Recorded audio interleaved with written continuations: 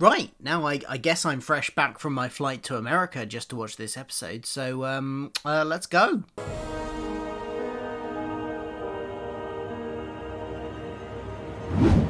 Hi, I'm Phil. Welcome to my channel where I like to talk about all the geeky pop culture that I like and consume. Things like Doctor Who, the MCU, and Star Trek. And it is time for a new season of Star Trek Discovery, which, uh, previous see my previous video. Um, not happy that they're not showing it outside of the US at the moment because they ditched the, the that's, that's a whole big thing that has required me to obviously not do anything dodgy or anything illegal, but instead fly to America to watch this episode so that I can review it for you fine people. That is exactly what I have done. So given that, let's talk about Kobayashi Maru. I'm going to go straight in. There's going to be spoilers, so if you haven't seen the episode, fellow UK people, sorry, um, maybe wait until, I don't know, sometime next year when you can see it. But if you have seen it, stick around. This episode kind of felt to me very much like a setup episode.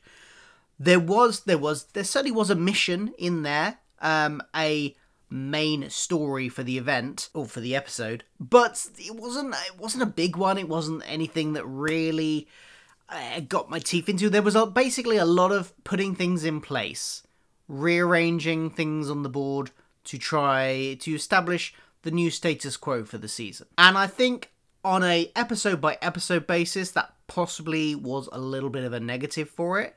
Uh, if you took this episode in complete isolation, what it will be like when you look at it as part of the whole season and setting up what's coming forward, I don't know. Maybe it'll work a bit better. They start with Burnham and Book on a diplomatic mission to re establish contact with an alien race. Butterfly aliens, as Book calls them, because they sprout wings and look very pretty like butterflies, I guess. I thought it was a good choice to go in with establishing that the crew have integrated themselves more firmly within uh, the Federation and the Starfleet of this era, and they're now being sent out on diplomatic missions and things like that.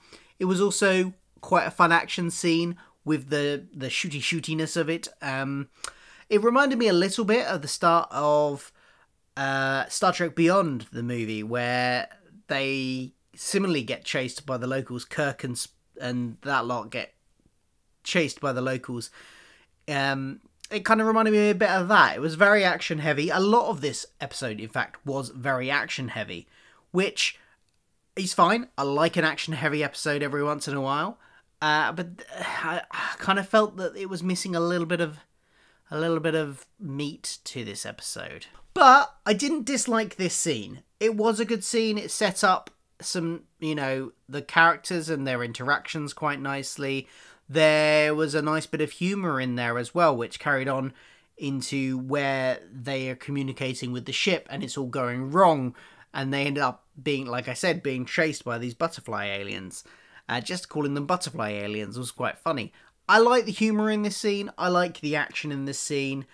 I like the establishment of the dynamic of the crew as well, because at various points, I mean, they've always been a bit of a kind of more looser crew, especially in these last two years when they since they've been in the future, and uh, so that you know, there's there's banter on the bridge and things like that, and I'm I'm okay with that. I quite like it with this crew, especially given what they've gone through. Now it makes sense, and I quite like this the the dynamic and the friendly and the upbeat dynamic they've all got when they're doing these sort of things. It makes a nice change from that season one very down, dour tone that the show often had. Uh, it's light, it's airy, I quite like it. As I said, a lot of this episode feels like it's just maneuvering things into places for the new status quo. So we get a scene with Saru on, well, a few scenes with Saru back on his home planet. It appears that the Kelpians and the. Oh, what were they called? The Baku? Baku, was it? Or something like that. The other race that is on their planet that used to subjugate them, but seems that they are now they're on friendly terms and work together, which is nice. Um, but Saru, his whole plotline in this episode is making the decision to leave after spending the last five months or so there, as we saw him go off to do at the end of the last season, um, and is going to go back to Starfleet. And we get the Kelpian that caused the burn is also there.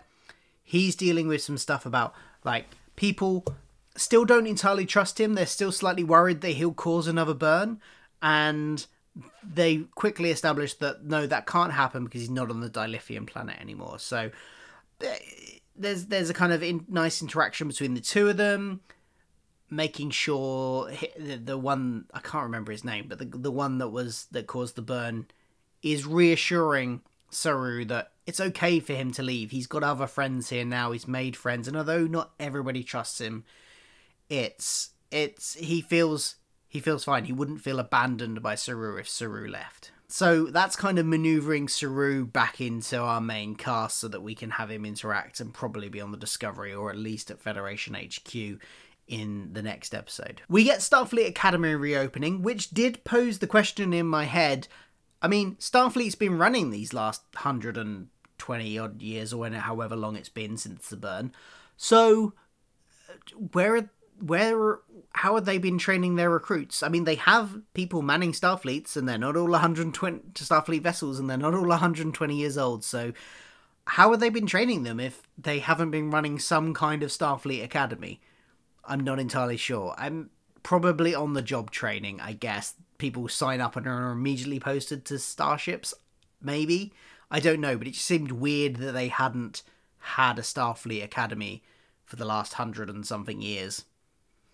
But Burnham is reopening it and giving a speech and introducing the president of the Federation, who we a new president of the Federation. So I think it's different to whoever was the president during season three that we never met.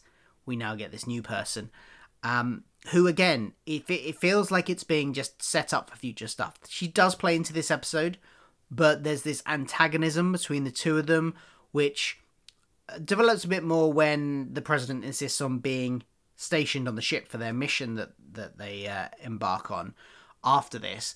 But that yeah, this appears to be the new antagonistic relationship that Burnham's going to have this season because hey, apparently it's not Discovery unless Burnham has an ongoing antagonistic relationship with somebody else in Starfleet at the same time. She, yeah. Uh, so I'm I'm interested to see where it will go, but I'm slightly wary of them replaying where they've gone before. You know, she had this with the Admiral last year. Uh, and eventually they came to an understanding. Is it going to be the same plotline again? Are we just going to have like antagonism, different ways of doing things, and then by the end of the season they will come to respect each other more? And I don't know. It feels a little bit like it's repeating beats that we've had in previous seasons. And it's not the only thing in this episode that does that either um, and I'll get to that a bit later. The speeches themselves were a little bit cringy. I don't know what you felt about that. Let me know in the comments below. But they just felt a little bit cringy to me. Uh, I, they could have. They weren't. They weren't a great speech. I don't think by either of them, by either Burnham or the uh, by the president. So was it? I'm, I'm sounding really down on this episode. I mean, look, my overall views of this episode is that it was an okay episode but it didn't massively excite me for the season to come. There was nothing in it that made me think, oh, I'm really looking forward to finding out where this goes. Well, apart from one thing, there's one thing in the episode that did make me think, oh, I'm I really want to find out what happens with this. Um, but apart from that one thing, there wasn't really anything else. Didn't massively make me think, oh, I really want to find out what happens this season. I mean, I will. I'll watch it all. And like I say, it's not a bad episode.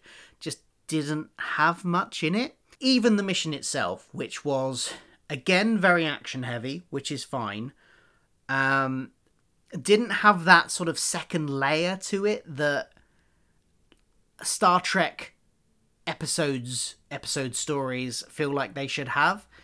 Uh, it was kind of a it was a rescue mission, and it kind of hinted at what might be the story arc to come with these anomalies. But there, there was that was kind of it uh, there, I suppose there was a little bit with the confrontation with the president about methods of doing things, and there was the the fact that I mean the episode's called Kobayashi Maru. I was wondering how that would tie in, and we didn't really find out to the end.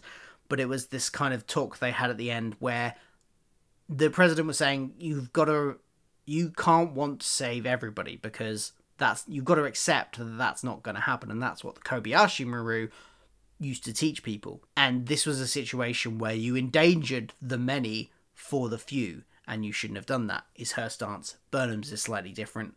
And uh, the, yeah, it's there's there's a small little bit of extra layer there which feels slightly Star Trekky, but they didn't really go into it enough. There was just that one scene at the end which kind of dealt with it. It wasn't really explored throughout the story, so it was just an action rescue story, which is fine, I guess, but it wasn't massively exciting. It well, it just wasn't massively engaging. It was it was what it was, and that was it. But look, I'm being really. I sound like I'm being really harsh on the episode, and I want to talk about some of the things that I liked about it as well. So there were some nice little moments.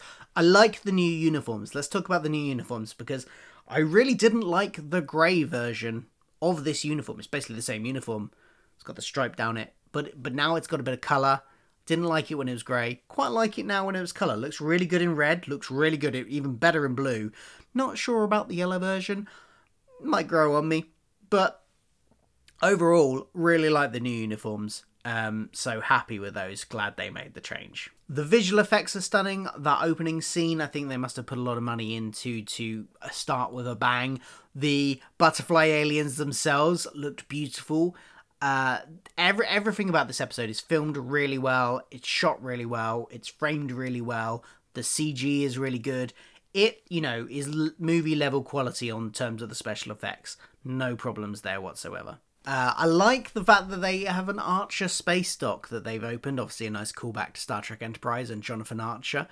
Uh, so that was a nice little throwback there. I also really liked the fact that all of most, not necessarily all, but all of our regular characters, most of our regular characters, got a moment in this episode, some kind of moment, some more than others, but most of them got something. Uh, whether that was Tilly worrying about, you know, being made a lieutenant and being slightly anxious about that, or um, the the admiral uh, having his family come like showing his family around. That was a nice little moment for him. Then Keyla, who obviously had this plotline going through last season where she wasn't confident in her own abilities because of the events of the previous season and when she, she had a bit of sort of post traumatic stress.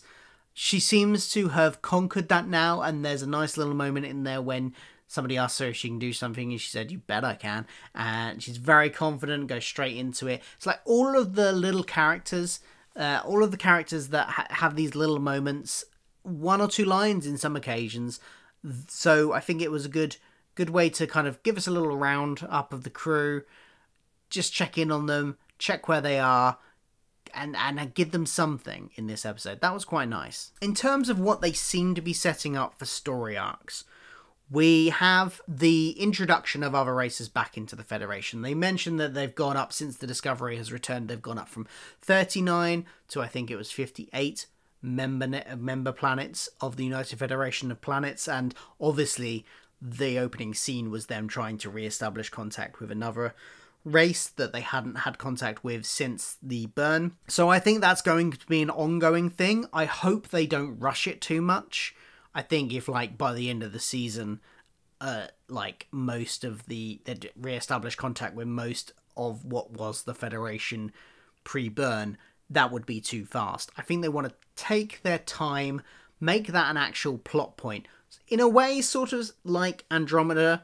I made a lot of comparisons to Andromeda last season, but sort of like Andromeda did. Uh, take their time with it. Take the time with re-establishing the foothold that the Federation has in the universe. And then the sort of mystery plot of this season is another one of the things that I think at this point feels like it's treading over old ground again. Because there's these spatial distortions that have knocked this uh, base off course, and that's why they have to launch the rescue mission. That, uh, and then later on, uh, destroy a planet. That feels very it's it's another something's we've picked up something in space we need to it's a mystery we need to find out what it is plot. Same as sort of like the red the red bursts in season 2 same as what what was the burn the spatial anomaly that was the burn in season uh, 3 i just feel like i wish they would do something different other than hey there's this weird thing happening out in space and let's spend all season finding out what it is They've done that. Let's do something different. I'm just a little bit worried about them treading over old ground again. But this is the first episode.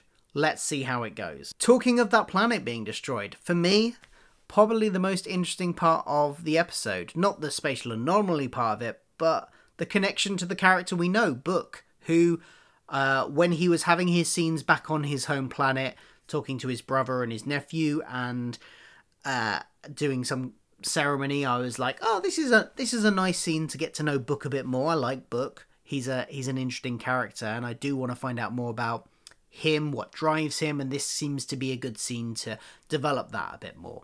And I kind of thought that's all it would be, and then he would go back to Discovery.